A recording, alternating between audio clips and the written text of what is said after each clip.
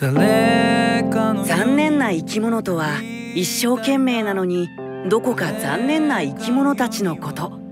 この夏残念な生き物辞典から生まれた3つの物語。僕の居場所を見つけなくちゃ。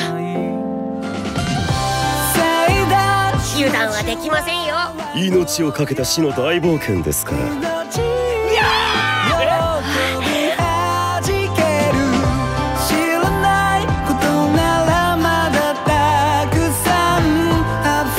僕たちはこの旅で知るんだ。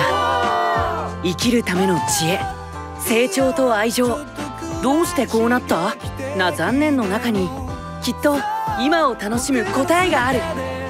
映画「残念な生き物辞典」残念。